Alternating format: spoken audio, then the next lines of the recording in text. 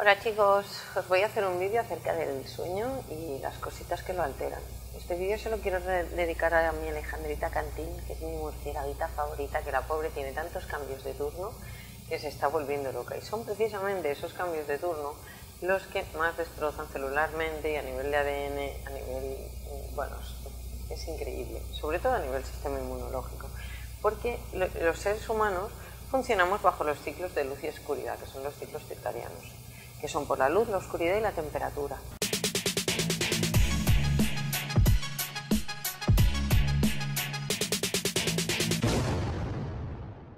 ¿Cuál es el problema? Que evolutivamente el ser humano eh, durante el día estaba despierto, estaba en la calle, eh, le daba el solecito y durante la noche eh, se iba a la cuevecita y se ponía a dormir, que descendía la temperatura. Por eso irse a dormir con la calefacción o tal o cual es muy malo porque lo que haces es generar eh, calor y peor calidad del sueño. Entonces, cada célula neuronal que está encargada de regular estos patrones tiene su propio reloj biológico y va cambiando en función de la luz. Pero si tú alteras ese relojito biológico, se altera todo el ciclo del sueño, alterándose también tu sistema inmunológico, tu, tu ansiedad, etcétera, etcétera. Es muy importante eh, respetar esto. El problema es que vivimos debajo de un fluorescente durante, durante el día, que es como estar a oscuras, porque la luz, la luminiscencia de un fluorescente no es igual que la del sol.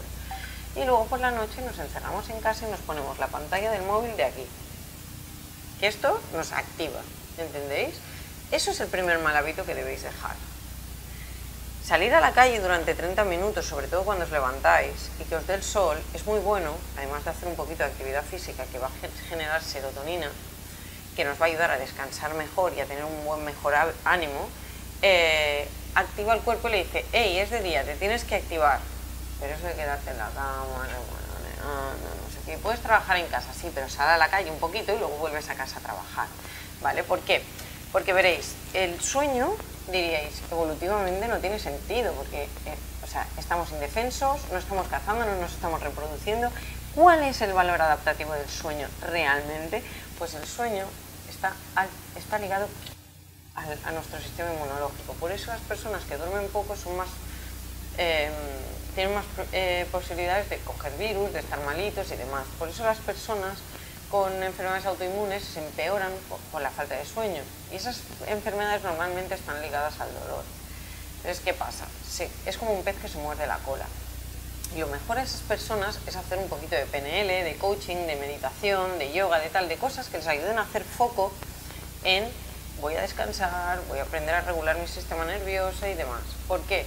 Porque si tú, además, es que el insomnio, el, insomnio más común es el, el, psicofisiológico, que es decir, eh, el, insomnio de que además es por aprendizaje pavloviano. Veo la cama y ya no descanso. O sea, es dos más dos son tres, son cuatro. Eh, dos más dos son tres.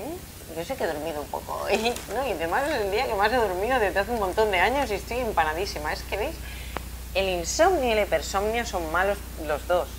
El insomnio, porque disminuye nuestras defensas. De hecho, una sola noche sin dormir en personas sanas, eso que te pegas la fiesta, afecta la producción de células NK y neurocitos, cuyo ritmo altera la respuesta del estrés, es decir, una hipercortisolemia, es decir, vamos a subir la inflamación sistémica, de la que os he hablado muchas veces. Si tú aumentas la inflamación sistémica, produces problemas a nivel cardiovascular, empeoras la diabetes, empeoras el cáncer, porque el crecimiento tumoral está muy ligado al insomnio.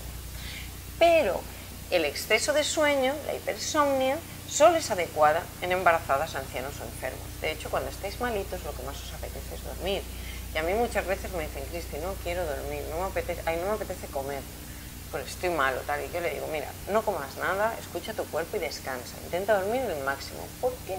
Porque es cuando el cuerpo está más anabólico, ahí la reparación celular, la reparación de la masa muscular, eh, hay el drenaje linfático del cerebral, donde se, depuran todos los desechos. Se aumenta el espacio intersticial, las neuronas se hacen pequeñitas y se depuran. Entonces es muy importante la calidad de ese sueño. De hecho, los patrones neuronales durante el sueño son los mismos que despiertos, por eso aprendemos mientras soñamos. Por eso hay muchos animales que sueñan, o personas que sueñan con un ataque, con una, que los secuestran, ¿qué tal? eso, eso te va a hacer aprender, por si algún día te pasa algo así, saber reaccionar porque lo has soñado. Es increíble. De hecho, una falta de sueño tiene, genera menor volumen cerebral, es decir, te cargas el coco, te cargas el coco, es muy importante descansar. Entonces, hay personas que, o sea, genéticamente, unos somos más diurnos y más nocturnos. Las personas que son más nocturnas, más dadas a trasnochar, tienen más prevalencia de depresión, de ansiedad, de problemas con las drogas, de un montón de cosas. Las personas diurnas son personas mucho más activas y positivas. También es cierto que se dice que las personas nocturnas tienen mayor coeficiente intelectual, pero yo soy súper diurna y soy muy lista. Entonces, ahora en serio, es muy importante eh, que descansemos bien, porque agrava cualquier enfermedad. Una falta de descanso, por ejemplo, 30 minutos cada día, una hora cada día, nos va a llevar a, tener menor resistencia a la insulina, con lo cual eleva los niveles de glucosa en sangre. Nos va a llevar a estar más ansiosos, nos va a llevar a tener em, problemas de diabetes porque empeora la glucosa y además la falta de sueño perdemos córtex prefrontal y nos dejamos llevar por el sistema límbico. Es decir, en vez de tomar decisiones con cabeza y racionalidad, nos dejamos llevar por la parte del placer. Además, el cuerpo va a buscar alimentos más calóricos porque está agotado. ¿Entendéis? ¿Eso que nos lleva? Al sobrepeso, a la obesidad, a la depresión, a un montón de problemas. Con lo cual, lo más importante es que aprendamos a desconectar nada más llegar a casa, desconectar del trabajo, desconectar los dispositivos electrónicos, por favor, y crear un ambiente de paz.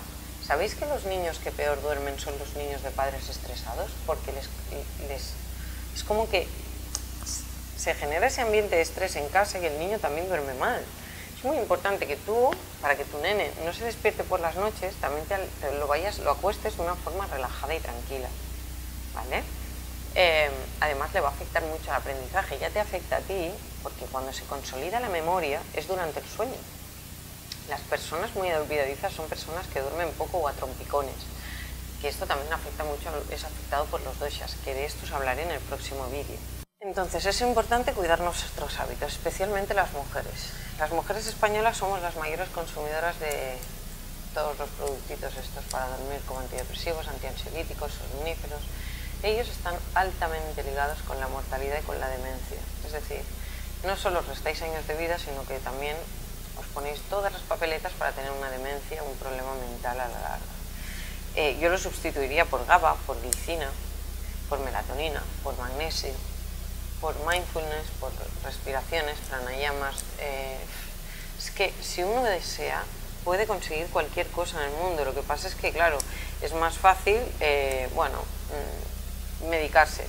Medicarse que tampoco te está mejorando el sueño, porque realmente el sueño ya no es que sea bueno per se por todo lo que sucede durante el sueño, sino que mejora también nuestro día a día, porque estamos más guapos, más dinámicos, más activos, más felices.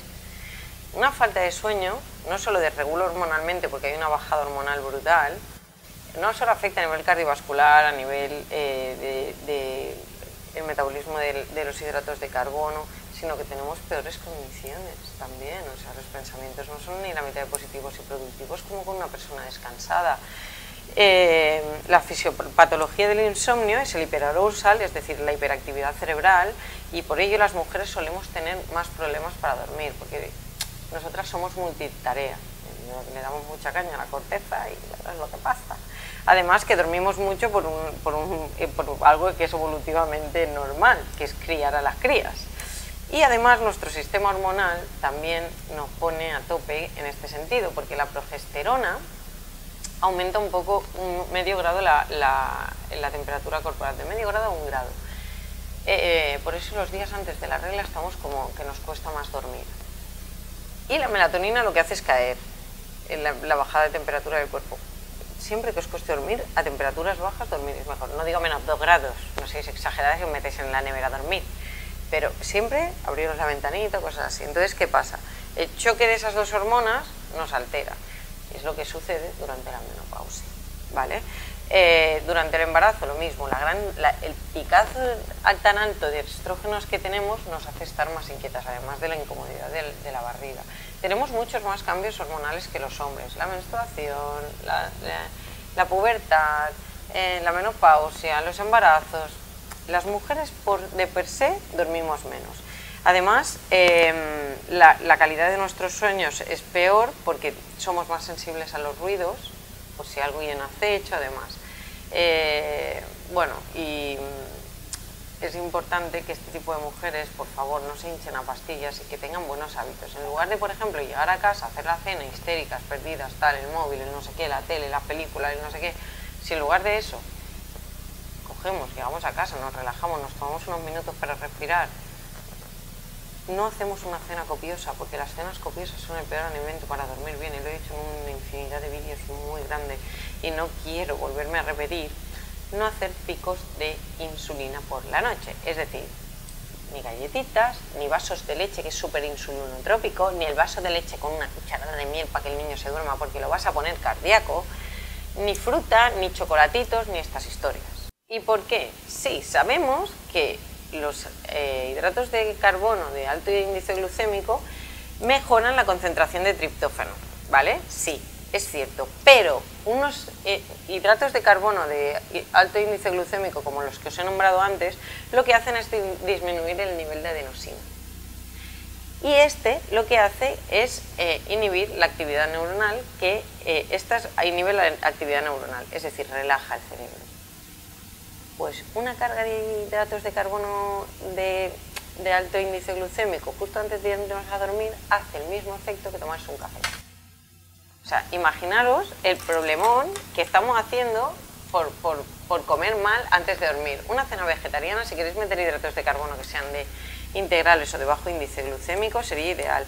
Que tenéis miedo a vuestra habitación porque habéis hecho una manía ahí a la habitación terrible. Cambiar la cama de sitio, pintar la habitación, cambiaros las sábanas, etc.